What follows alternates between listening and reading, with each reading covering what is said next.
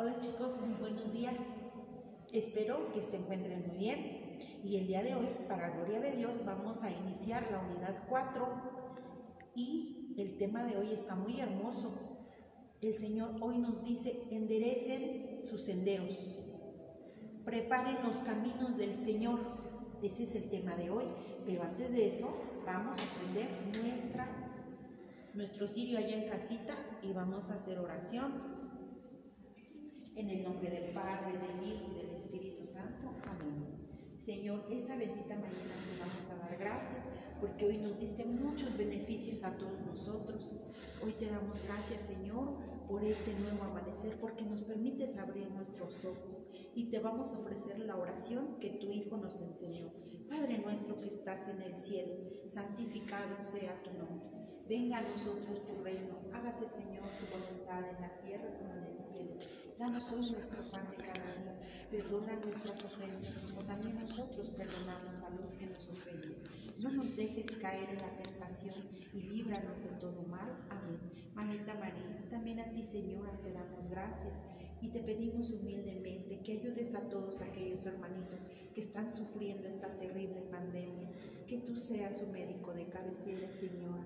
Dios te salve María, llena eres de gracia, el Señor es contigo. Bendita tú eres entre todas las mujeres y bendito sea el fruto de tu vientre Jesús. Santa María, Madre de Dios, ruega Señora por nosotros pecadores, ahora y en la hora de nuestra muerte. Amén. Espíritu Santo, fuente de luz, ilumínanos. En el nombre del Padre, del Hijo y del Espíritu Santo. Amén. Iniciamos chicos, pongamos mucha atención. Hola, ¿qué tal chicos? Muy buenos días. La segunda sesión del año y bueno, fíjense que el día de hoy les voy a hablar un poco de la experiencia humana. Muchas veces hay personas que nos quieren guiar. Eh, papá, mamá nos llaman la atención y a veces que nosotros no queremos entender. Pero hay que saber que Dios tiene un llamado para cada uno de nosotros y que esos guías los tenemos que agarrar con cariño, tomar con cariño, porque si no, ¿qué espera de ti en un futuro? ¿Qué se espera? Bueno, en este tema vamos a abrirnos más hacia el mundo exterior y vamos a aprender lo que nosotros tenemos que hacer con esos guías espirituales y con nosotros mismos para que en el futuro seamos unas muy buenas personas. Te invito a que te sientes, pongas mucha atención y bueno, iniciamos.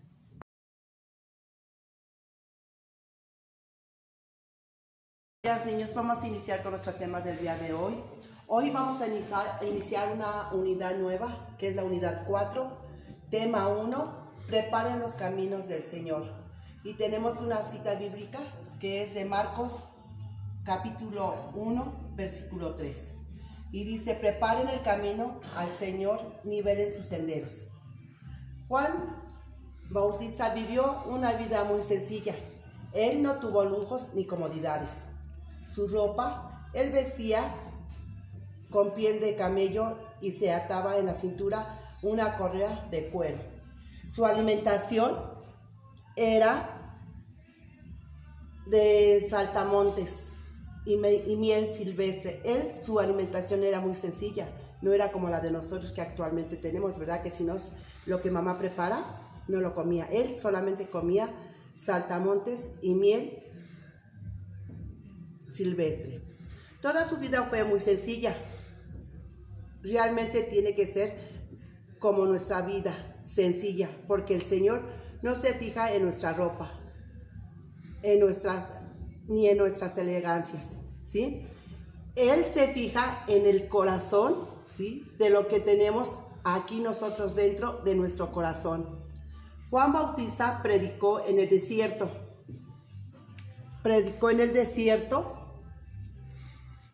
él decía, arrepiéntanse de sus pecados, cambien sus vidas y hoy en la Sagrada Escritura encontramos tres citas bíblicas que hacen mención a esta proclamación de Juan y son las de Mateo capítulo 3 versículo 3, Marcos 1 versículo 3, Juan capítulo 1 versículo 23.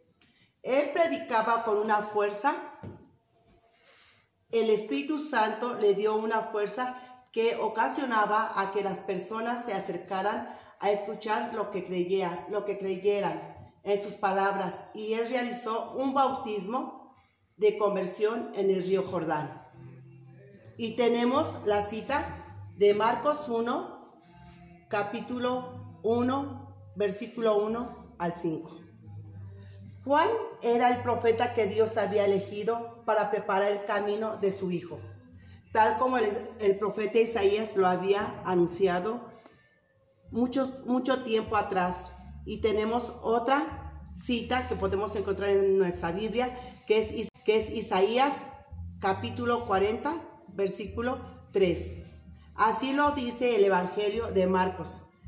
Mira, envío mi, mensajero por delante de ti, el cual prepara tu camino. Con la misión de, de Juan finaliza el tiempo de espera del pueblo de Israel. La historia que había vivido y el camino que había recorrido con Dios llegaría a su momento más importante, la llegada de su Hijo. Por todo esto, es importante conocer a este personaje, pues fue el encargado de anunciar este gran acontecimiento al pueblo y presentarle a quien esperaba. Marcos capítulo 1, versículo 2, que también lo van a encontrar en la Biblia. Así lo proclamaba, detrás de mí viene el que es más fuerte que yo, yo no soy digno ni de, ni de postrarme ante él para desatarle la correa de sus sandalias. Yo, lo, yo los voy a bautizar con agua, pero él los va a bautizar con el Espíritu Santo. Y tenemos también otra cita que van a investigar ustedes en su Biblia, que es la de Marcos, capítulo 1, versículo 7 al 8. Se refiere a Jesús. Juan Bautista proclamaba que nivel en los senderos trataba de hacer entender a las personas que era necesario arreglar el camino pedregoso de su corazón para que Dios pudiera llegar a ellas, de saber que Él ya estaba cerca. Se refirió al camino por donde caminamos, no se refería al camino de nuestras vidas. Nivelar nuestros caminos es arrepentirnos de nuestros pecados, de nuestra mala conducta, si no es la correcta. Y esta preparación nos lleva a ese encuentro con Jesús. Esto hizo el Bautista. El pueblo de Israel ha pasado también en nosotros en el camino, recorriendo en la catequesis. A través del Espíritu de Dios ha ido quitando de nuestros corazones muchos obstáculos que estaban para acercarnos más a Dios encontrándonos con Jesús, así como ha ocurrido con nosotros. También debe ocurrir con muchos más de todos nosotros. Recuerden que así también ustedes, todos estamos invitados, invitados a seguir este camino de Juan, ¿sí? Haciendo el bien, sacar todo lo bueno de nuestro corazón, porque también Él nos menciona que todo es lo bueno que sale de nuestro corazón.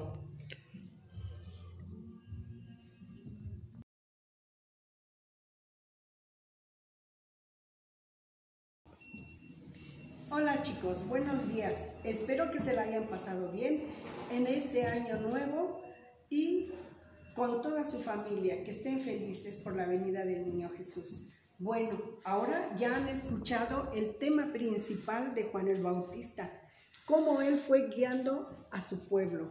Ahora nos toca la expresión, la celebración de la fe. Ustedes saben perfectamente que para llegar a Dios siempre existen dos caminos. El camino de la bondad y el amor que va directo a Dios y el camino de la desobediencia, desobediencia que nos aleja del amor de Dios.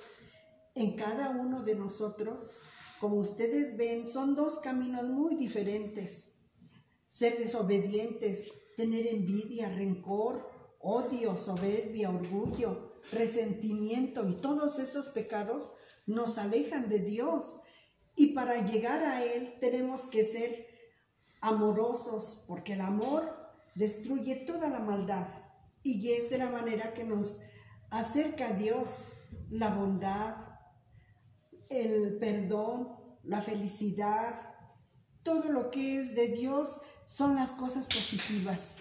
Ahora bien, en esta tarde ustedes deben de saber que deben de actuar de diferente forma. Son dos caminos y son dos, es, es un obstáculo que debemos de guiarnos para llegar a Dios.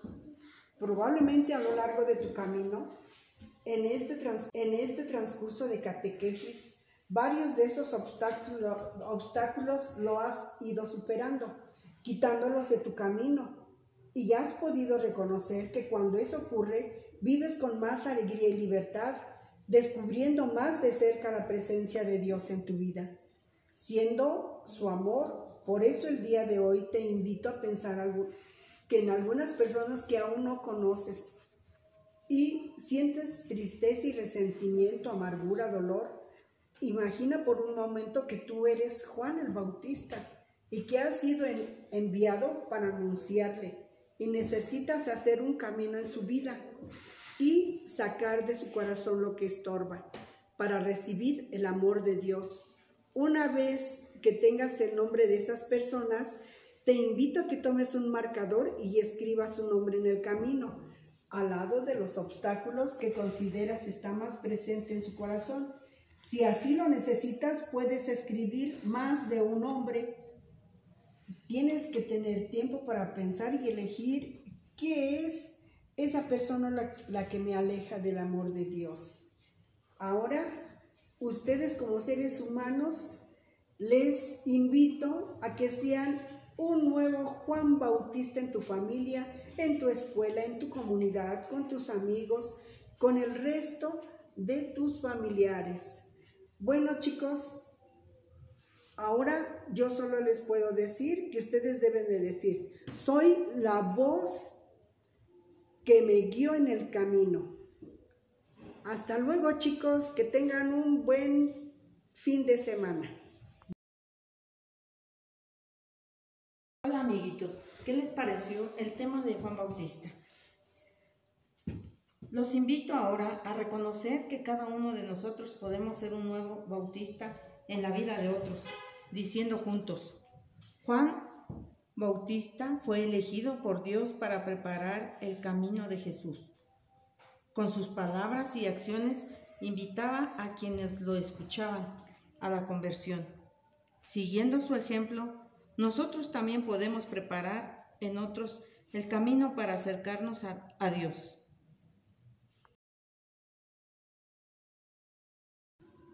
Bueno chicos, vamos a hacer nuestro compromiso de esta semana.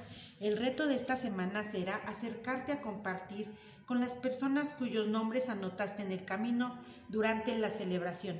Puedes hacerlo de varias maneras, escuchándolas si lo necesitan, compartiéndoles algo de la catequesis, invitándoles a unirse a tu grupo, entregándoles algún mensaje escrito de parte de Dios. Lo importante es colaborar para que reflexione sobre lo que está estorbando en su corazón. y lo que nos aleja de Dios, eso es lo que vas a hacer esta semana, chico.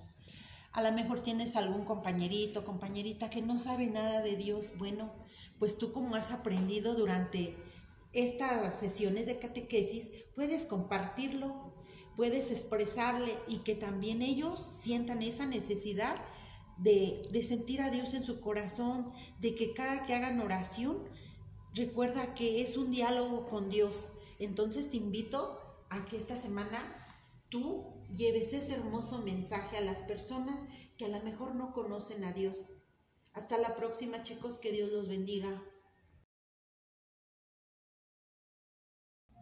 Ok chicos, eh, bueno, vimos un tema increíble, cómo la vida nos pone muchos obstáculos y a pesar de ello, aquí como se ve en este camino, hay que superarlos porque en todo, todo lo que nosotros nos encontramos en el camino es porque Dios lo sabe que nosotros lo vamos a, superar. Entonces te invito a que hagas la actividad de la página número 66 y también la catequesis familiar en la página 67. También no se te olvide acudir a misa, porque si no, pues estarías, estarías escogiendo otro camino. ¿eh? Así que nos vemos y nos escuchamos para dentro de ocho días.